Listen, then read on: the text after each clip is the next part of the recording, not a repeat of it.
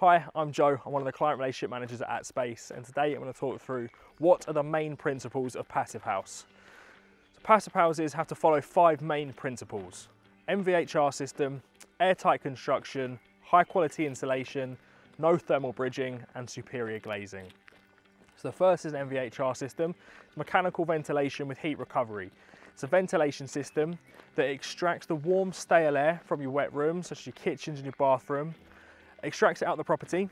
At the same time, fresh cold air from the outside is being drawn in and passes through an air-to-air -air heat exchanger, which captures the heat lost, or the capture the heat in the stale air, warms up the fresh air, which then gets filtered into habitable spaces such as your living rooms and your bedrooms. It's a way of retaining heat and improving air quality.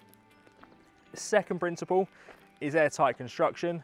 All passive houses have to achieve a maximum air change rate of 0.6 uh, air change rates or an air leakage can account for up to 40% of heat loss through properties through gap, gaps and cracks in the build envelope.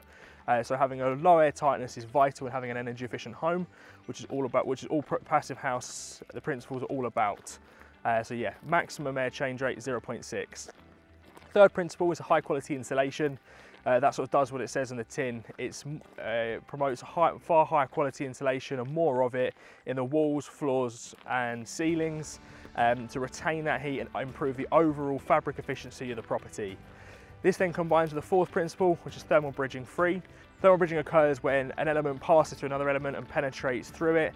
Um, it can account for up to 30% heat loss, uh, fabric heat loss. So increasing the insulation, ensuring any penetration, any junctions are highly insulated, uh, improve overall efficiency of the property um, and is a key, uh, is one of the main principles and a key in producing passive houses. So the final principle is high quality superior glazing, typically argon filled triple glazed windows designed in a way with the orientation to maximise solar gains for the winter months and minimise solar gains for the summer months to prevent overheating.